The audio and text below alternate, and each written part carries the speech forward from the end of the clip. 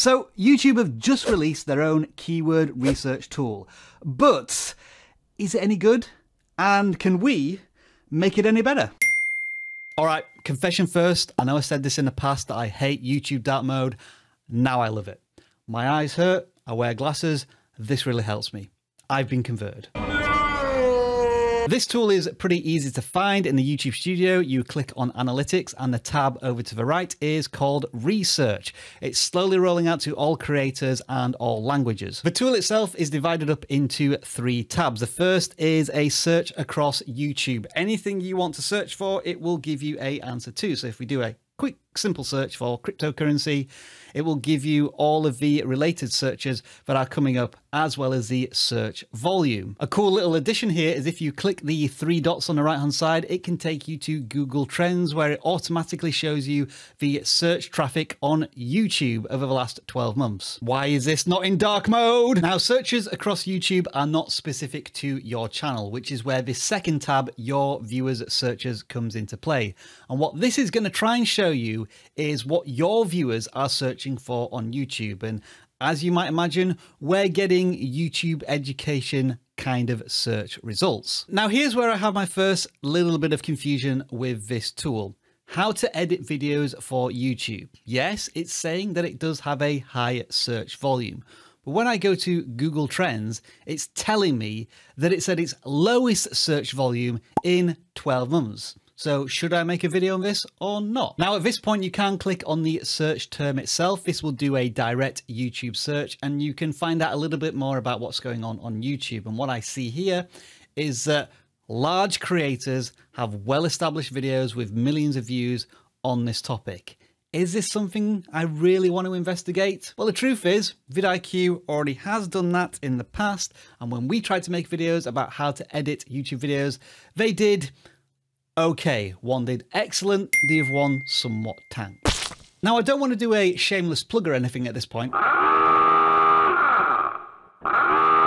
vidIQ has had a free tool that has done this for many years, and what it adds is competition. So if we go back to this search, how to edit videos for YouTube, yes, there is a high search volume, but there is also high competition as we've established. So should a small creator try making a video on how to edit YouTube videos, they're going to have to offer something very fresh, very new, a unique perspective for it to break through such well-established content according to the search rankings. Ah, but YouTube will say they have a solution to this problem for small creators, and it comes in the form of content gaps. So on this first bubble where it says all searches, if you click it, and then click content gaps only, what this is now going to show you is apparently search terms that, if you mouse over this question mark, are underserved on YouTube. Now, if you'll excuse me for a second, I thought I could do this entire recording standing up, but my back is killing.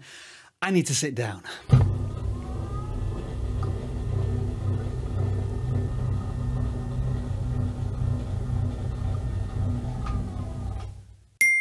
YouTube describes these content gaps as when viewers can't find any results for their searches, which I find really hard to believe in this day and age on YouTube. Viewers can't find an exact match for their search, which seems to suggest that SEO still has a part to play, at least in YouTube search, or when viewers can't find relevant videos for their searches, for example, the content is old or of low quality. Does that mean low quality in terms of viewer satisfaction or low quality in terms of video resolution? As for old content, let's dive into that a little bit. As we can see here, the content gap is how to change YouTube channel name. And in response to that, I'm going to show YouTube exhibit A, B, and C. Two years ago, we made a video on how to change your YouTube channel name and it got over half a million views. And as YouTube's functionality for changing your name has evolved over the last couple of years, we've made updated videos that have got progressively less views and have been discovered less by the audience. As far as I'm concerned, I'm doing my job and serving up YouTube new content on that content gap but it's not rewarding me with the views. Urge to kill rising. In another more extreme example, we have how to make YouTube short, another content gap, but of a medium search volume. I would have thought content gaps would all be of a higher search volume. But anyway, in the search results, I made this video almost two years ago now, how to make a YouTube short complete beginner guide. It has almost a million views, but I knew as the YouTube Shorts platform was evolving that this video would be soon out of date. And so I made a follow-up video which is far better, far more up-to-date information, and it has exactly the same title, almost exactly the same thumbnail, and yet it only has 44,000 views because for some reason, YouTube still prefers this video that's out of date. That's happened to you, hasn't it? Where you've made updated videos to your best search ranked videos and have not performed why is that YouTube? Now I fully accept that this could be me just having sour grapes. The videos made here by Justin Brown and Think Media could simply be better than my updated video. But here's what I think I've discovered from the content gaps, at least for vidIQ's list. Although it suggests there is a content gap for the search term, YouTube still tends to massively favor one particular video for that search term or a couple of videos. In this example, how to hide subscriber counts. We have videos of tens of thousands of views, but there is one outstanding video here, which is quite old at this point with two and a half million views. And if I click into it and go to the historical data that we have here from vidIQ, it is still getting hundreds of views per hour. we go back to the search results, we can see that Think Media have tried to edge into this search term as a content gap. Nolan made this video a month ago. If I click on it and then go to the historical data here, no doubt this is a more up-to-date video and of better quality, but currently YouTube isn't rewarding this video with the views. They're getting four views per hour, 10 views an hour, 15 views an hour. The other video from a couple of years ago has 10 times as many views per hour. So should I make a video about how to hide YouTube subscribers? I'm not entirely convinced, but what I will say is that sometimes search-based content can take a while to take off because we made a video on how to hide subscribers in the past. And it wasn't until 100 days after it got published that the views really started to pick up. And then 400 days after it was published it really picked up in traffic but now it's tailed off. Mm, I guess it would only take a few hours maybe you'll see that video on the vidIQ channel very soon. One additional thing to add here is that you can filter by country, be it for viewers searches and content gaps. If I click this second bubble here, I don't have that many countries to choose from right now, but if I filtered by United States, that will modify this content gap list a little bit. What I seem to be finding as I use this tool more and more, and at least in vidIQ's case, is that the results at the top of a list tend to be single solutions to single problems. How to hide subscribers on YouTube, how to verify your YouTube account, how to change YouTube channel name. What it shows less of is overall strategies, how to get more views, more subscribers, get monetized. Those do start to appear in the list further down. We have one here that says free YouTube subscribers, YouTube subscribe. That's a bit random into the medium search volume, then we get a little bit more specific how to get a lot of subscribers on YouTube, YouTube subscriber hacks. And this is where I would offer you the alternative viewpoint from vidIQ's Daily Ideas tool, which does tend to know a little bit more specifically about your channel. It's accessed down the left-hand navigation bar. If you just scroll down, you'll see Oliver vidIQ tools and daily ideas is here at the top. And from the 50 daily ideas that we've been suggested here from the tool, we can see a nice mix of strategy-based ideas and specific solutions. How to get more views on YouTube videos. Very obvious, but that's right at the heart of what we do here at vidIQ how to increase subscribers on YouTube channels for shorts. That's going a little bit more nuanced. How to make a thumbnail for YouTube videos. Make a professional logo for YouTube channels. How to find the best keywords for YouTube videos, ranking tags for YouTube videos. Ironically, that's pretty much a video we're making right now about YouTube's research tool. I think what I'm trying to say is that while this is a promising start from YouTube's own research tool, it's quite basic at this point, and let me give you another example of this. In the content gaps, we have this phrase here, copyright claim. Now, we as YouTubers all understand the premise of that, but there isn't that much context here for us to work on.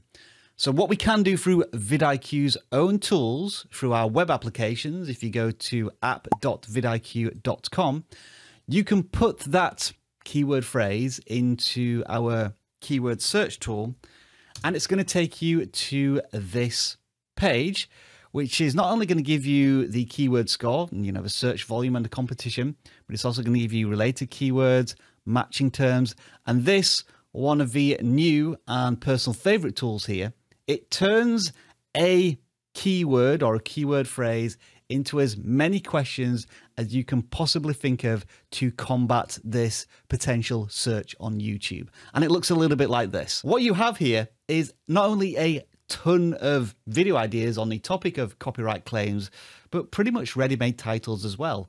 How to remove a copyright claim on YouTube, how to use NCS music without copyright claims. Very specific, but uh, really useful for a lot of creators.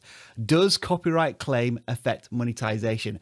A huge question that we get asked all of the time. And in this particular query, it has generated over 300 potential options. That'll keep you busy if you're a copyright claim YouTube channel for years. Now that we're over 10 minutes into this video and only the hardcore, most committed creators are still watching, I'm going to let you in on a little secret. The stuff that we've been focusing on in terms of research and planning is not as important as it once was. These days, the YouTube recommendation system relies a lot less on the literal search engine optimization keyword research, filling out a title, a description, and tags that matches YouTube's indexing. What the recommendation system now prefers is the emotion, the human trigger, what convinces somebody to click on a video, which means that thumbnails and titles are even more important today. And would you believe it? We've got a tool that can help you with that too obvious, this, isn't it? So back on the vidIQ web app on the channel dashboard screen, you can take that keyword that was suggested by YouTube's research tool, copyright claim, and feed it through our AI title recommendation tool. Now we're going beyond just the keyword, just the idea, and packaging it up into something that a human being may actually click. Why YouTube has a copyright claim on your video and what to do. This is defining the target audience and teasing a possible solution in that title. How to fight a copyright claim on YouTube. This is giving the viewer the confidence to know that mistakes do happen with copyright claims and the encouragement, the permission to potentially fight what may be wrong. The goal of a title is to make a human being care, to create intrigue, to generate curiosity. And these title recommendations are trying to do just that. And if you're not happy with any of them, all you need to do is generate new recommendations and you get a brand new set of titles based around copyright claim. Why YouTube thinks I stole a video. What an intriguing title that is. I could definitely make something out of that. Now, just for completeness, I do want to go back to the YouTube research tool to let you know what the third tab does. Next to each of your search terms, you have this bookmark icon. If you click that and then go to the save tab, this is where all of those search terms are saved. What I hope we we've all learned on this little journey through YouTube's new tool is that successful videos take a lot more than just keyword research. There is always more investigation that needs to be done. You can't just take a keyword at face value. You need to know what's already out there on YouTube that represents that keyword and figure out how to package that keyword into something that's going to create curiosity. And if you want to learn more about how you can create curiosity in your titles, Yep, it's another one of them. You'll discover seven ways to do that in the video over here.